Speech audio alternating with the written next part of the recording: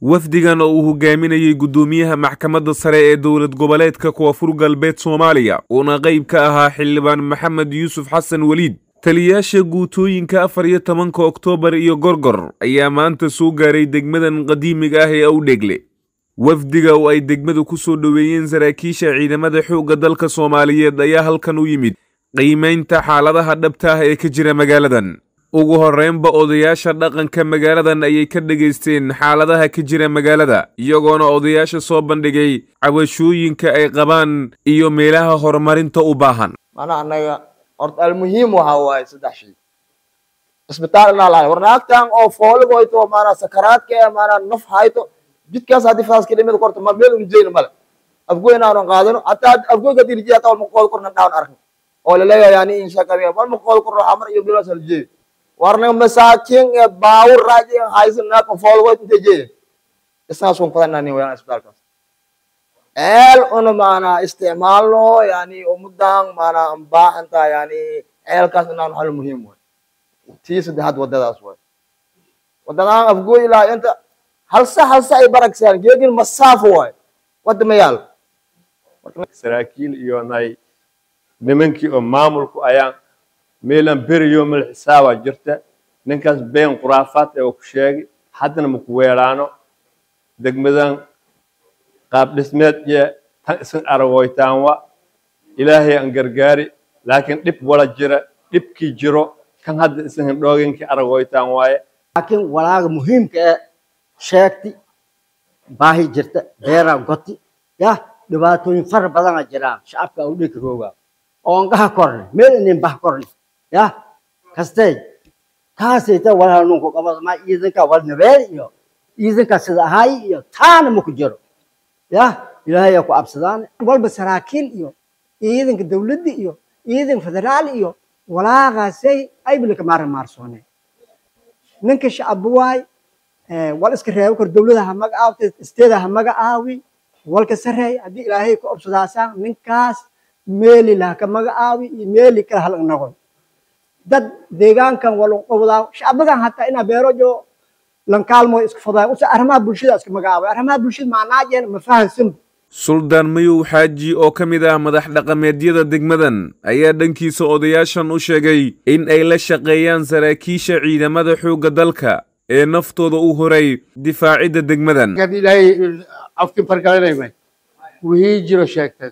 Ilaahay sii la og wiilasha wal been ee ahay beena macnaa dabeel ka qaade weligeen ma socda haddii ilaahay indiid fadhigeen warka sugaasan halaasan wixii calaf eh ilaahay faataada marada ilaahay faataada dhamaantay taliyaha guutada afar iyo tobanka oktoobar gaashaanla sare nuur maxamed gaawow nuur farey ayaa bulshada reer awdheegle uga mahad celiyey sida dhiiran ay ula shaqeeyaan laamaha amniga degmadan. Haddii uu jiro mid aad qarsanaysaan ood ciidanka uga esturaysaan oo si babliga u sheegi weyseen oo isleediin ciidanku ciidankiina waa in muddo in la soo shaqaynayay dhaxanta iniin fadhiyaan hal xunaa ku dhex jire halka xun babliga u sheegin haddaad leediin oo si gooniya noogu sheegaysin diyaaran u nahay wayna ka dhex wadaynaa maan baabuurka kama haraag taas taas waaye warka inaan ku bata ma rabo waa layga dambaynaa waxaan rabaa marka adeerayaashaynaad tihiin aabbayaashaynaad tihiin wiilashiinii aan nahay adeerayaashiinii aan nahay shaqaalihiinii aan nahay. Waa idinku ixtiraamaynaa idinkuna nagu ixtiraama inaad nala shaqaysaan oo waajibka inta idinka qusaysa amniga aan ka shaqaynayno sidaa hore nooga sii jirteen ma sidii iyo si ka duwan inaad noogu sii shaqaysaan. Ciidamada qalabka sida meeshaan waxaa wakiil u ah cali maadi iyo farxaan labadaas sarkaale ugu magacaaban oo ow dhegle mas'uul amnigeeda ka waxaa la wixii dhacda ka dhaca xumaan iyo samaan. Haddii xumaan ka timaadna igaa qaadanayo igaa lagu qaabaynaa wanaag hadduu ka yimaadana igaa ku dalacayo. Xildhibaan maxamed yuusuf xasan weliid oo ka tirsan baarlamaanka jamhuuriyadda federaalka ah ee soomaaliya ayaa dhankiisa sheegay in baahiyaha ka jira degmadan ay la wadaagi doonaan madaxda qaranka. Degmadaanaan laga soo dooranaya beritana waddankan wama wanfood u gelayaan madaxweyne xasan sheekh. Iyo xisbigiisa anagoo ka mid ah waxaan rabnaa deegaankan dadka joogo hadday ahaan qabiilku doon hadduu ahaan lahaa inaan annaga aan matalno ayaan aan sheegayna run ahaantii markaan dhegaysanay warkii hadda dacwaddii anaga dacwad qaadayaal u baan nahay madaxda dalkan kula noqonaynaa ugu horreeya madaxweynaha jamhuuriyadda federaalka mudane xasan sheekh maxamuud iyo ra'iisul wasaaraha iyo guddoomiyaha baarlamaanka iyo madaxweynaha stateka cabdicasiis laftigare uu wakiil ugu yahay guddoomiye maxkamadda sare iyo annaga.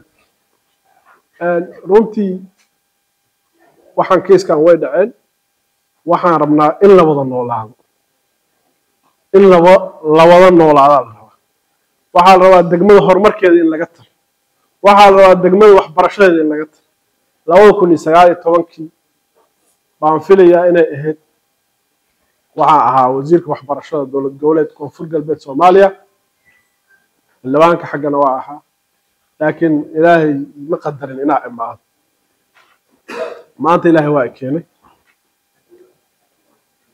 Dhismahan oo degmada maanta ku shaqaynayso iskuulkaas dayactirkiisa dugsiga hoose dhexe ee sare m c h-ka ninkii wax ka geystaa. ah oo dadaal badan geliyey in laga hirgeliyo.